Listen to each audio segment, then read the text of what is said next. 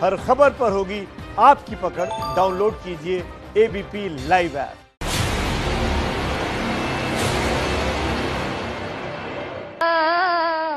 यही जांचने जनता के बीच भैया, पहुँचे मधेपुरा भैया, पहुँचे मधेपुरा। सड़क का बुरा हाल है, जनता भाई बेहाल है। बंद शराब मिले जनाब क्या हुआ बवाल है? कौन करेगा अपने? वादों को भाई पूरा।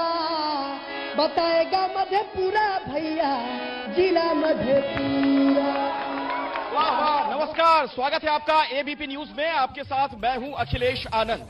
और ये देखिए, मधेपुरा की जनता किस कदर उत्साह में जरा इनका एक बार उत्साह देख ले। तालियाँ हो जाए। हर तरफ़ से हाथ हिलाते हुए ये लोग अभिवादन कर रहे हैं। तो मधेपुरा से वार पलटवार की हम शुरुआत करने वाले हैं। जनता के सवाल होंगे, उनके नेता मौजूद हैं, उनसे हम हिसाब लेंगे। लेकिन पहले मैं आपको एक रिपोर्ट दिखाना चाहता हूँ कि बिहार की सियासत में आज किस तरीके से सियासी सियासी वार पलटवार हुआ है, किस तरीके से एक दूसरे पर जमकर आरोप लगाए गए हैं, चाहे पार्टी कोई भी हो। एक रिपोर्ट देखिए। उनका निधन अस्पताल में दो या तीन दिन पहले हो चुका था लेकिन समाचार उनका निधन का प्रकाशित नहीं होने दिया। तो मेरी समझ में नहीं आता कि जो व्यक्ति आज दुनिया में नहीं है उसके ऊपर सब राजनीति करने को तैयार है। जब तक वो जीवित थे क्यों नहीं कोई आया उस वक्त? क्यों नहीं मांझी जी आया उस वक्त मिलने? हर दिन मेडिकल बुलेटिन निकलना चाहिए था। आखिर मेडिकल बुलेटिन उनके बारे में क्यों नहीं निकला? ये वो जुबानी जंग है जिसे सुनकर बिहार ही नहीं पूरा देश हैरान है। बिहार में विधानसभा चुनाव के दूसरे दौर से ठीक पहले जीतन राम मांझी ने चिराग पासवान को ऐसे चक्रव्यूह में घेरने की कोशिश की, जिससे चिराग तिल मिला गए। मांझी का आरोप है कि रामविलास पासवान का निधन पहले ही हो गया था। उसकी सूचना तीन दिन बाद सामने आई। उनका निधन अस्पताल में दो या तीन दिन पहले हो चुका था। तो बात हुआ कि आखिर दो दिन क्यों उनके निधन के समाचार को रोक के रखवाया गया? वो बड़े आदमी थे और सेंट्रल मिनिस्टर थे। हर दिन मेडिकल बुलेटिन निकलना चाहिए था। आखिर मेडिकल बुलेटिन उनके बारे में क्यों नहीं निकला? मांझी की पार्टी के प्रवक्ता दानिश रिजवान ने इसे लेकर पीएम नरेंद्र मोदी को चिट्ठी भी लिखी है और इस मामले की न्यायिक जाँच की मांग की। हमारे प्रवक्ता ने कहा है, हमको ही मालूम हुआ है कि दो दिन या तीन दिन उनकी मौत शायद हो चुकी थी, तब डिक्लेयर किया गया था और फिर मेडिकल बुलेटिन कभी इशू नहीं किया गया। बड़े आदमी थे, बड़े नेता थे और आखिर छिपा के क्यों रखा? अगर ये बात आई है पब्लिक डोमेन में तो इसकी जाँच होनी चाहिए। न्यायिक जाँच हो तो अच्छा है। इस बीच, नीतीश ने ट्विटर के ज़रिए चिराग पर निशाना साधा और कहा कि जिन्हें सब कुछ विरासत में हासिल हुआ है उन्हें कर्मवीरों के तप के बारे में क्या पता? चिराग ने नीतीश और मांझी पर पलटवार करने में देरी नहीं की। कौन बनेगा मुख्यमंत्री का काफिला आज मधेपुरा में है?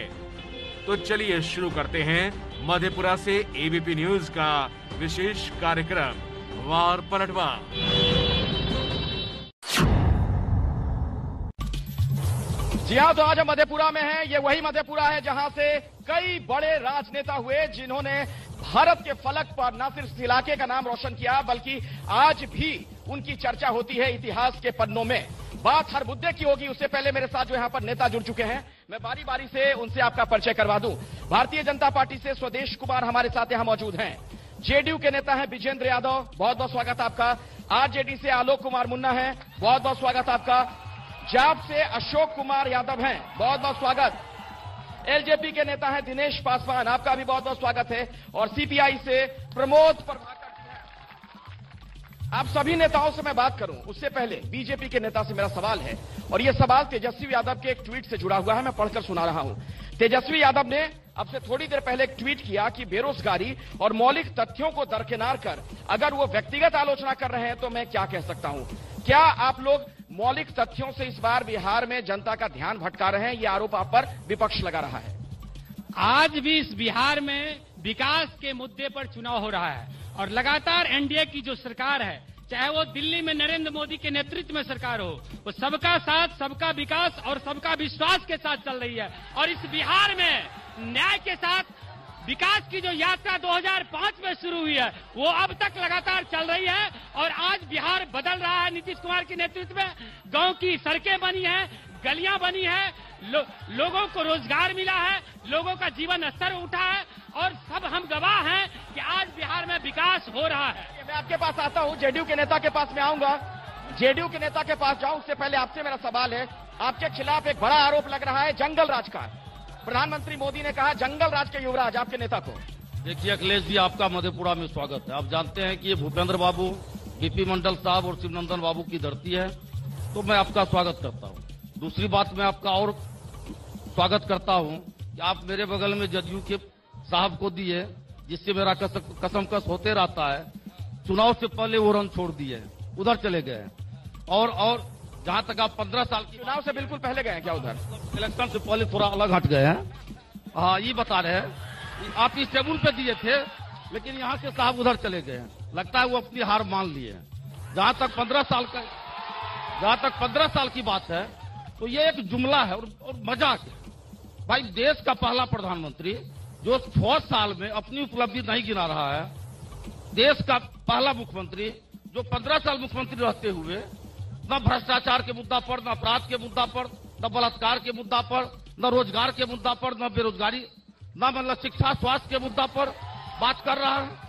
और और और पंद्रह साल की बात कर आप देखिए आप देखिए अभी बिहार की स्थिति क्या जवाब लेता हूँ पहले इनसे। आप अपने पंद्रह साल का रिपोर्ट कार्ड क्यों नहीं दे रहे हैं जनता को? ये कह रहे हैं कि आप अपने पंद्रह साल की बात कीजिए। इनके पंद्रह साल बार बार क्यों याद दिला रहे हैं? पहले तो मैं ऑडियंस में जो तमाम लोग हैं यदि आप कुछ सुनना चाहेंगे तो सुनिए अथवा ताली बजाते रहिए। सवाल? अब सुनिए भाई। सुनना है तो सुनिए। बोलिए ना पंद्रह साल से सुना रहे हैं आप लोग बोलिए। पंद्रह साल? पंद्रह साल का जो शासन है पंद्रह साल में जो काम हुआ है कुछ नहीं हुआ। ये सरजमीन पर है। किताब में नहीं है। किताब में जो लिखते हैं वो नहीं। जो पंद्रह साल में सड़क का जाल बिछाया गया घर घर में बिजली का खंभा कराया गया सारा नीति बनी, पोशाक योजना चली, छात्रवृत्ति योजना चला, सारे चीज़। आज यहाँ बैठे सुना जाए। जनता से इतना विरोध फिर क्यों है? यहाँ पर इतने लोग जो नाम में हाथ हिला रहे हैं क्यों? इतना काम हुआ है कि नहीं? बताइए। क्या बताएँ? क्या उन्होंने गिना दी है कि बहुत काम हुआ है? गलत है दुष्प्रचार है सरकार के खिलाफ की काम नहीं हुआ। मधेपुरा विश्वविद्यालय मुख्यालय में आप लोग खड़े हैं। बेहतर होगा हमारे भाई विजेंद्र यादव जी आपसे आग्रह किया है। आप सुनना चाहते हैं तो ताली को कम कर देंगे तो बेहतरीन होगा कि आप सुन पाएँगे। हम आप एबीपी के परिवार के लोगों से कहना चाहते हैं पहले कि अभी आरजेडी के आलोक कुमार मुन्ना ने कुछ कहा कि जदयू के लोग किनारे हो गए, हमारा सुझाव था, आरजेडी के लोग यहाँ हैं और इनके साथी वहाँ हैं, इनको एक साथ कर देते तो बेहतर होता, इनको तब आप ये कहना चाह रहे हैं कि आरजेडी हो जेडी हो बीजेपी हो सब एक हैं। ये कहना चाह रहे हैं? नहीं कहना एक नहीं चाह रहे हैं। जिस तरह से आपने जेडी और बीजेपी को एक किया उसी तरह आरजेडी और वाम को एक कर देते चूँकि ये गठबंधन है। ये गठबंधन ये दिख रहा है कि आप जगह एक किया और दूसरे जगह आपने बांट दिया है। साथी को कहाँ दीजिएगा? चलिए काम पे आते हैं काम पे आते हैं वक्त नहीं। छोटे में फटाफट बताइए इतना काम हुआ कि नहीं हुआ? काम कुछ नहीं हुआ है बिहार में। काम काम इसलिए नहीं हुआ बिहार में कि केवल चुनाव के समय में अच्छे अच्छे वादे करके जनता के साथ साथ इन युवाओं को ठगते रहे। इन पंद्रह सालों में काम नहीं हुआ कि इसके पहले जो लालू जी वाला पंद्रह साल था उसमें भी काम नहीं हुआ। न पंद्रह साल पहले काम हुआ न पंद्रह साल अब ही काम हुआ। नब्बे से लेकर के 2020 तक कोई काम नहीं हुआ। कोई काम नहीं हुआ जनता के लिए। मैं आता हूँ आपके पास। देखिए, लोकतंत्र का यह महापर्व है और इस महापर्व में यह तय हो चुका है कि नीतीश कुमार की निकम्बी सरकार जाएगी और तेजस्वी की सरकार आएगी। बिहार में बिहार में परिवर्तन की बयार बह रही है। इसलिए कि नीतीश कुमार का सात निश्चय कार्यक्रम टाइम टाइम फिक्स हो गया। बिहार में बिहार में एक भी उद्योग नहीं लगे। लेकिन भ्रष्टाचार और अपराध उद्योग का रूप ले लिया। भ्रष्टाचार और अपराध उद्योग का रूप ले लिया ये आरोप लगा रहे हैं। एलजेपी के नेता भी मेरे साथ हैं। एलजेपी क्या वाकई वाकई में कोई वैचारिक मुद्दे पर चुनाव लड़ रही है या सिर्फ़ आप लोग जेडीयू का खेल खराब कर रहे हैं? नहीं नहीं एक्चुअल में मैं एबीपी परिवार को पूरे मधेपुरा की जनता की ओर से धन्यवाद देता हूँ। आपने जो बुलाया एक्चुअल में जदयू जदयू के रहते हुए बिहार में कोई काम नहीं हुआ। मैं बताना चाहूँगा।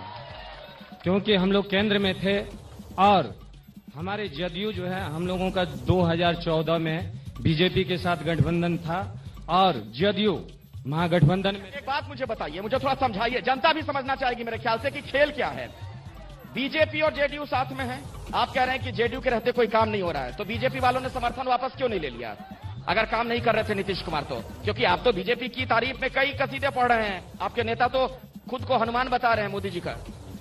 तो मैं बताना चाहूँगा कि जब जदयू 2014 में महागठबंधन के साथ थे विकास के मुद्दे पे चल रहे थे सात निश्चय महागठबंधन में तय किए थे बीजेपी में आके नहीं लागू इस समय में किए काम इस समय में किए।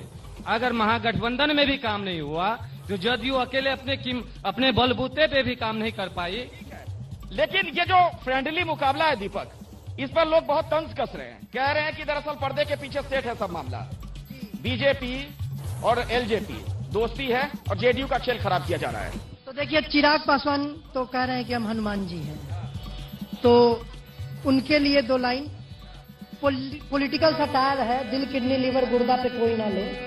हम्म, दिल चीर के देख तेरा ही। दिल चीर के देख तेरा ही नाम होगा। तेरी वफा, तेरी सदा, तेरा पयाम होगा। तू मेरा राम होगा। दिल चीर के देख तेरा ही नाम होगा।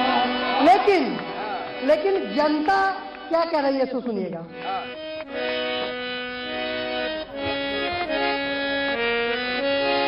दो दिल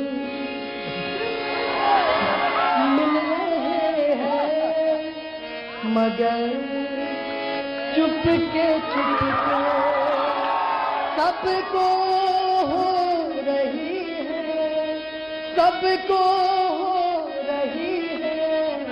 ये खबर चुपके चुपके चुपके चुपके, क्या खेल चल रहा है?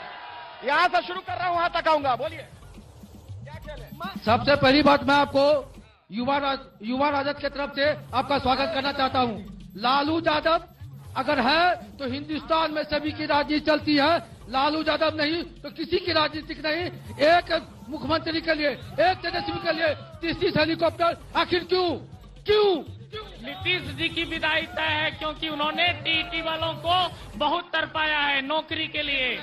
लगातार छह सालों से इंतज़ार कर रहे नौकरी का लेकिन वो आज तक नहीं दे पाए हैं। नीतीश जी को मैं किस आधार पे वोट दूँ? बलात्कार के मुद्दे पे या जर्जर रोज के मुद्दे पे या ये गुंडागर्दी के मुद्दे पे या निजीकरण के मुद्दे पे? समस्त रोज़गार को चौपट कर रहा शिक्षा को चौपट कर रहा आज कहते हैं आइसक्रीम खिलाएँगे बहुत रोज़गार देंगे। कोरोना में कहा थे? कोरोना में सिर्फ़ पप्पू यादव आते हैं और नेता नहीं आते हैं। कोई नहीं आया। कोई नहीं।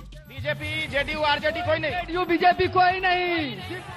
सर, हम लोग 2012 में एसटीटी पास किए हैं और लगातार अनवरत पटना में धरना प्रदर्शन करते आ रहे हैं। लेकिन नीतीश कुमार की सरकार इकहत्तर हज़ार सीट रिक्त रहते हुए भी एक भी स्कूल में एक शिक्षकों की बहाली नहीं कर रही है और हम लोग दर दर की ठोकर खा रहे हैं।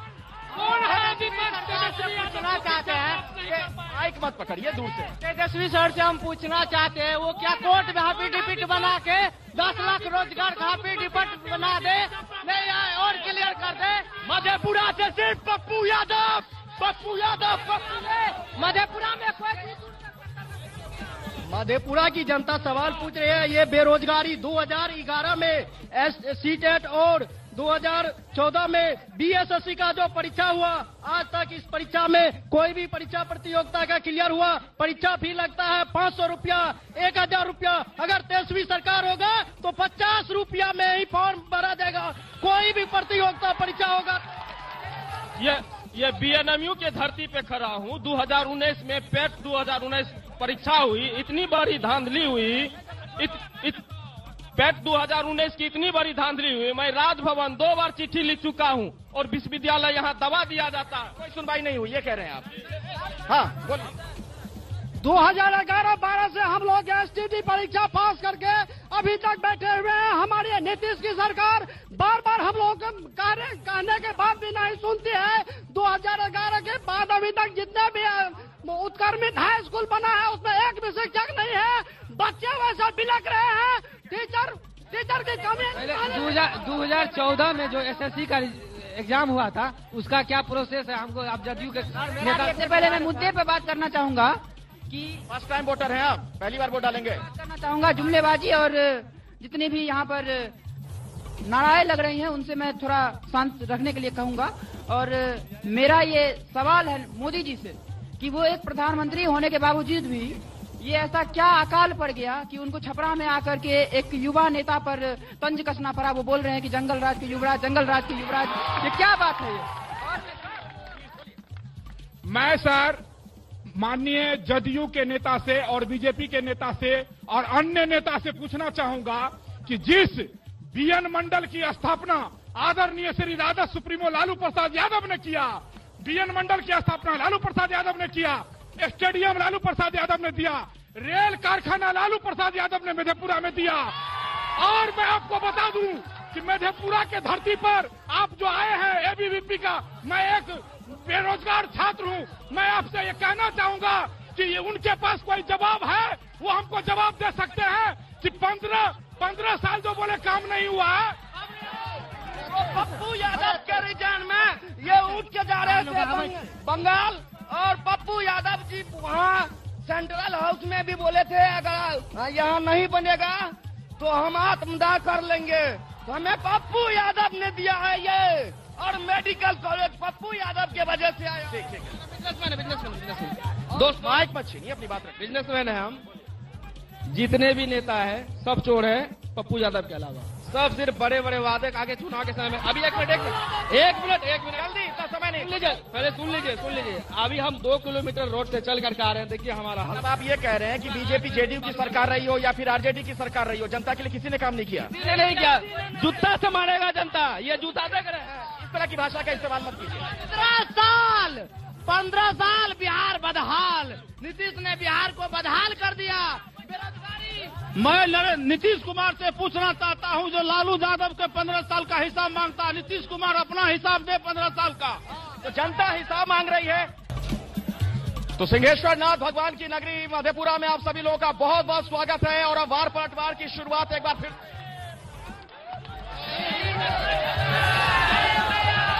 तो लोगों से बातचीत होगी, इनके सवाल भी हम लेंगे, लेकिन जब मैं मधेपुरा पहुँचा हूँ मैंने अपनी आँखों से क्या देखा? मुझे यहाँ पर क्या समस्याएँ नज़र आई? या फिर मधेपुरा की पहचान क्या है? अगर पूरे भारत में मैं बताना चाहूँ मधेपुरा के बारे में, एक रिपोर्ट देखिए, उसके बाद हम यहाँ से चर्चा की शुरुआत करते हैं।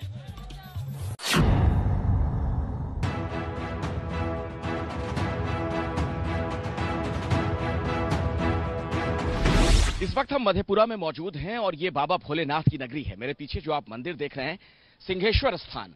दूर दराज से लोग यहाँ पर दर्शन करने के लिए आते हैं भगवान से आशीर्वाद लेने के लिए आते हैं। और दीपक चूँकि बाबा भोले की नगरी है तो कुछ तो होना चाहिए उन पर गीत। देखिए बहुत हम लोग तो भ्रमण कर रहे हैं अलग अलग जगहों पे और बहुत पावन जगह पे हम अभी खड़े हैं। बाबा के लिए कहना है हम्म, अरे भोला बाबा के नगरिया है मधेपुरा में सिंहेश्वर स्थान हो। भोला बाबा के बेरी बेरी करे जोरी करे नी प्रणाम हो। भोला बाबा के बेरी बेरी करे जोरी करे नी प्रणाम चलिए तो प्रणाम तो हमने कर लिया। अब जरा मधेपुरा का हाल भी जानते हैं पड़ताल करते हैं। आइए दीपक। क्या हुआ।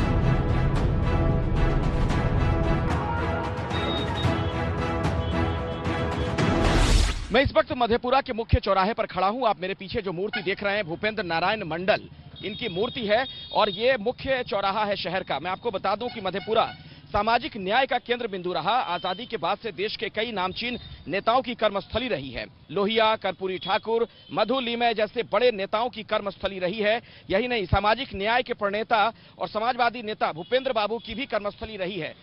इतनी समृद्ध ये भूमि राजनीति के लिहाज से, राजनीतिक सोच के लोगों के लिहाज से, लेकिन हाल बदहाल है। शहरी इलाकों में, ग्रामीण इलाकों को तो आप छोड़ दीजिए।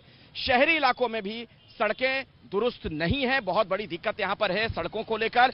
इसके अलावा मैं आपको बता दूँ, पीने का साफ़ पानी लोगों को मैसर नहीं है। गंदा पानी नलों से आता है। बिजली की भी दिक्कत है। स्थानीय लोगों का यह कहना है कि जिस तरह के दावे सरकार में बैठे लोग करते हैं, उस तरह से इन्हें बिजली की आपूर्ति नहीं हो पाती है। ये तमाम बड़े सवालात जिनका जवाब हम लोग ढूंढ रहे हैं और ये रिपोर्ट जो मैं आपको दिखा रहा हूँ, इसमें एक खास बात मैं आपको और बता दूँ कि ट्रेन से बहुत अच्छी कनेक्टिविटी ना होने की वजह से भी इलाके के लोग बहुत ज़्यादा परेशान हैं।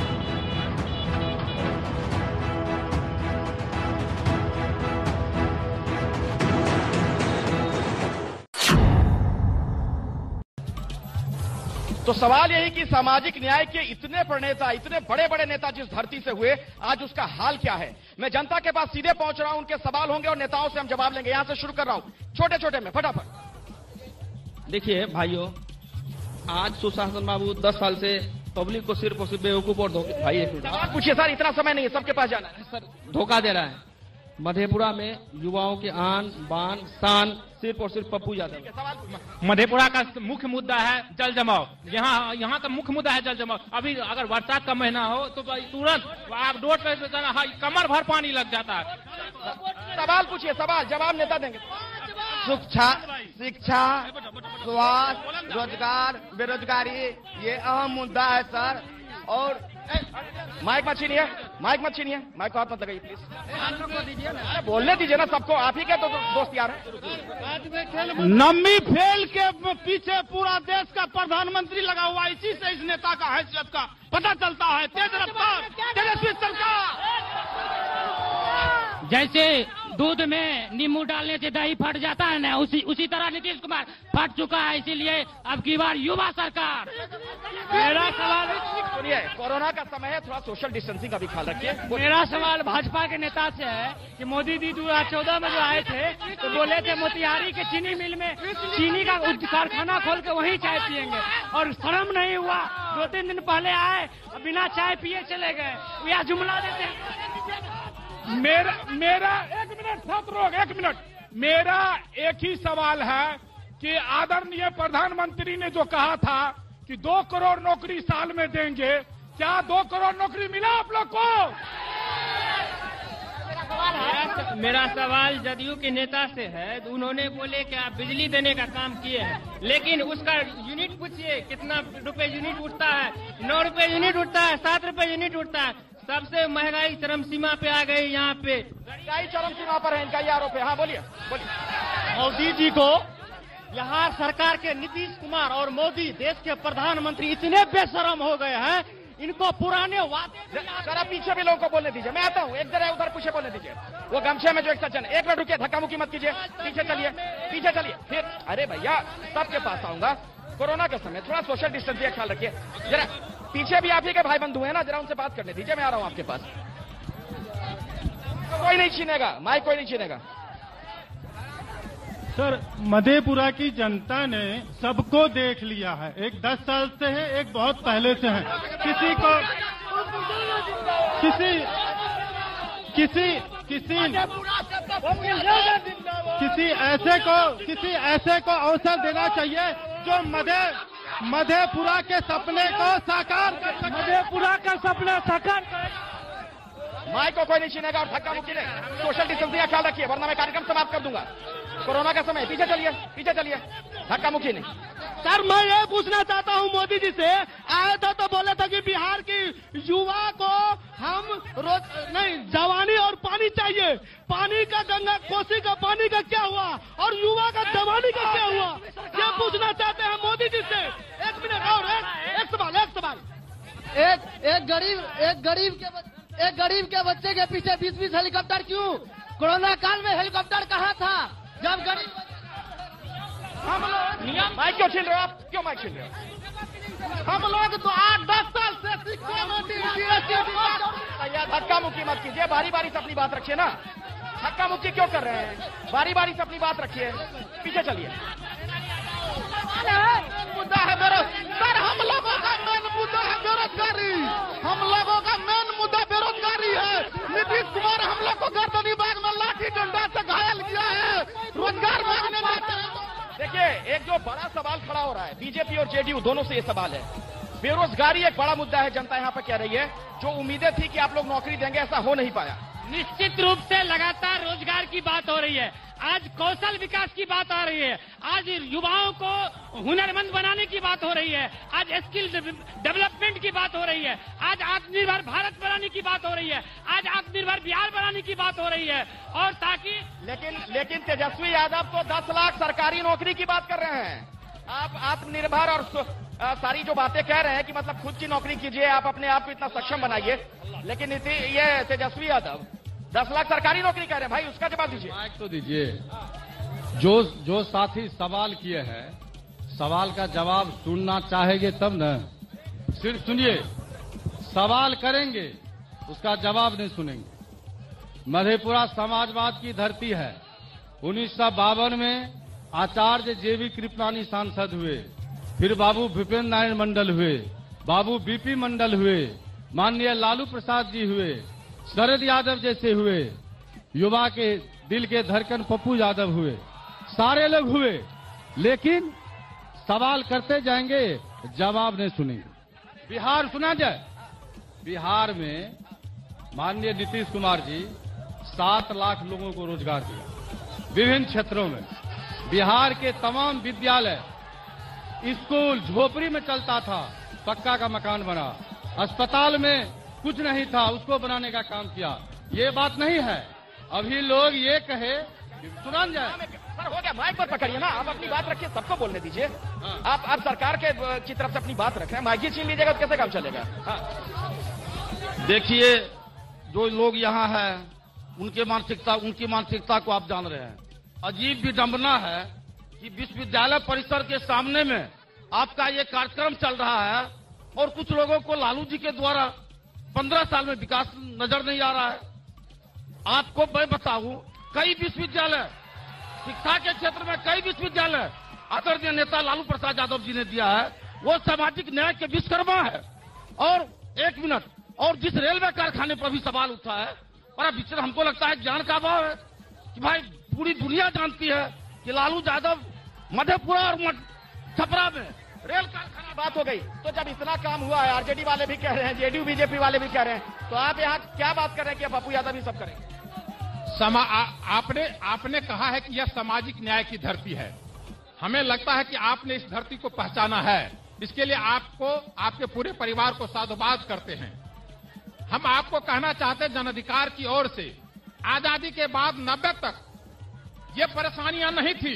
नब्बे से बीस तक तीस वर्ष में जो दोनों धाराएँ हैं जो एक दूसरे को गाली दे रहे हैं जो एक दूसरे को गाली दे रहे हैं एक ने कहा कि दो करोड़ नौकरी देंगे और दूसरा कह रहा है दस लाख नौकरी देंगे।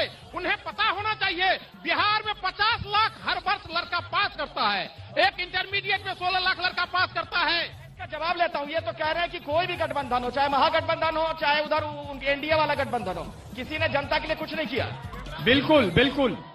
मोदी जी और नीतीश जी के सभी वादे छलावा साबित हुआ। वो महागठबंधन वालों को भी कह रहे हैं। महागठबंधन आदरणीय नेता लालू प्रसाद यादव ने सामाजिक न्याय के रास्ते गरीब गुरबा शोषित पीड़ित को मुँह में आवाज़ दिया समाज समानता दिया सत्ता में भागीदारी दिया। और और भाई साहब मैं कहना चाहूँगा अरसे बाद यह चुनाव जाति और संप्रदाय के आधार पर नहीं हो रहा है यह चुनाव मुद्दे आधारित हो रहा है। ऐसा है। क्या जाति के आधार पर चुनाव नहीं हो रहा है? क्या जाति के आधार पर चुनाव नहीं हो रहा है? नहीं नहीं, जाति के आवाज़ पे चुनाव नहीं होने चाहिए। कार्य के आधार पे चुनाव होना चाहिए विकास के मुद्दा पे। मैं बताना चाहता हूँ आप लोगों को, अगर लालू जी ने विकास किया पंद्रह साल में तो लालू जी की सत्ता क्यों गई? नीतीश कुमार अगर विकास किए रहते तो फिर नीतीश कुमार का विरोध क्यों अभी? युवा जनता बदल चुकी है, युवा नया चेहरा चाहती है, शिक्षित, शिक्षा जो शिक्षित ठीक है मैं समझ गया। एक मिनट आप लोग शांत हो जाइए। थोड़ा दूरी बना के रखिए आपस में मत उलझिए। आपस में मत उलझिए झंडा बैनर से थोड़ा बचिए रैली नहीं है। ये चुनावी रैली नहीं है। पीछे चलिए पीछे चलिए सोशल डिस्टेंसिंग का ख्याल रखिए। देखिए युवा लोग का एक मुद्दा हम देखे हैं बेरोजगारी। उस पर हम कुछ कहना चाहेंगे। आप लोग शांति सुन तो लो भैया बेरोजगारी पे बात हो रही है। बेरोजगारी पे भी बात नहीं करनी है क्या? तो करनी है ना तो सुन तो लो। हल्ला हंगामा क्यों कर रहे हो आप? थोड़ा अनुशासित होकर बात कीजिए ना, ये ये रैली थोड़ी है। ये कुछ चुनावी रैली हो रही है। क्या कि झंडा बैनर पोस्टर आप लोग क्यों ऐसा कर रहे हैं? क्या फ़ायदा होगा? जब बेरोजगारी पे बात हो रही है, मुद्दों पे क्या बात नहीं होनी चाहिए? क्या मुद्दे पे बात नहीं होनी चाहिए? तो जब मुद्दे पे बात हो रही है तो हंगामा क्यों? सुनिएगा। अरे चुनाव के बदला में अरे विकास के बदला में अब व्यापार होगा नेताजी। तो चुनावी भवर कैसे पार होगा नेताजी? आ साले साले युवा, अब बेरोजगार होगा नेताजी। तो चुनावी भवर कैसे पार होगा नेताजी? और क्या कहना है? आ का हालत आ सड़क का हालत जर जार होगा नेताजी। तो चुनावी भवर कैसे पार होगा नेताजी? और एक लाइन, जो जो मुख्य, जो आरोप लगा रहे हैं बीजेपी वाले, मैं उनकी तरफ़ से कह रहा हूँ ये चीज़। आरजेडी वाले जो आरोप लगा रहे हैं, नल जल योजना, नाला जल योजना है। पूरा शहर पानी पानी हो जाए रे। अब बेरी बेरी खाली शिलान्यास भैया होता है। और मधेपुरा में खाली बेमानी हो जाए रे। और जनता से धोखा बार बार होगा नेताजी। तो चुनावी भंवरा कैसे पार होगा नेताजी? क्या जनता से धोखा होता है? आप लोगों के पास आता हूँ। मंच से नीचे रहिए। मंच से नीचे। ये सिर्फ़ निकम्मे और जुमलेबाज की सरकार। गली गली पीछे पीछे चलिए, गुंडागर्दी मत कीजिए। पीछे चलिए। गुंडागर्दी नहीं, अनुशासित होकर बात कीजिए। बिल्कुल नहीं हल्ला हंगामा नहीं। पीछे चलिए पीछे चलिए। मैं इधर बात नहीं करूँगा। पीछे चलिए। शांति बना के रखिए। शांति बना के रखिए, नहीं तो मैं कार्यक्रम समाप्त कर दूँगा। सोशल डिस्टेंसिंग का ख्याल रखिए। कोरोना का समय है। ऐसे नहीं होगा। धक्का मुक्की मत कीजिए। अरे, आराम से। अरे, क्यों जान दे रहे हो भाई? क्यों जान दे रहे हो? आराम से रहो ना।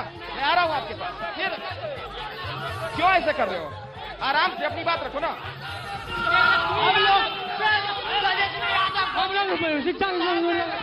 भैया, ऐसे नहीं होगा। क्यों क्यों हाथ पकड़े क्यों खींच रहे हो? नहीं, गलत बात है, पीछे चलिए। अरे, आपको पता है ना, कोविड का समय है थोड़ा सा डिस्टेंस रखिए। दो गज की मंच पे मत चढ़िए। मंच पे मत चढ़िए। मैं आपसे रिक्वेस्ट कर रहा हूँ, मंच पे मत चढ़िए। मंच पे मत चढ़िए। अपनी बात रखिए धक्का मुक्की मत कीजिए। अनुशासित रहिए। बोलने दीजिए ना, उनको बोलने दीजिए। गली गली में शोर है, नीतीश मोदी चोर है। यादव जिंदाबाद, लालू यादव मेरा सवाल, मेरा है। अरे माइक फिर ऐसे नहीं होगा। पीछे चलिए। पीछे चलिए, ऐसे नहीं होगा। हल्ला हंगामा नहीं, बदमाशी मत कीजिए। बदमाशी मत कीजिए, नहीं। अरे लोगों को बोलने दीजिए, और भी लोगों को बोलने दीजिए। हाँ बोलिए। पीछे चलिए पीछे चलिए पीछे चलिए। अरे इससे क्या होगा? क्यों कर रहे हो ऐसा भैया? थोड़ी शांति रख लो। थोड़ी शांति रख लो ना। हाँ। अरे भैया है ए आप लोग आप लोग आप लोग पीछे चलिए। अच्छा एक बात है एक बात बताइए क्या संस्कार होगा मधेपुरा का?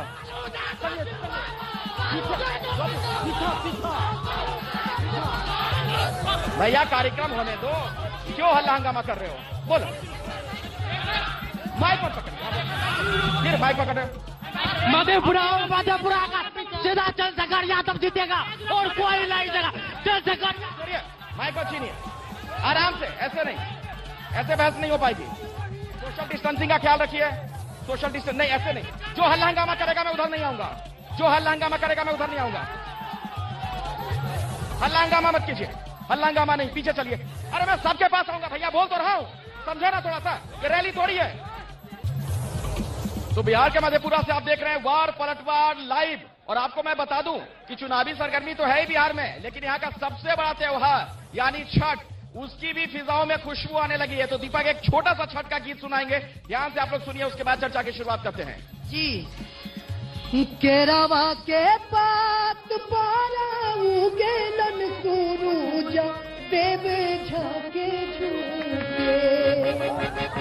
केरावा के पात उगेलन सूरूज देव झाके झूके। होकर लो छठ बराती याते झाके झूके। वाह बहुत बढ़िया बहुत बढ़िया। और मैं आप सबके पास आ रहा हूँ। एक एक सवाल छोटा छोटा पूछिएगा।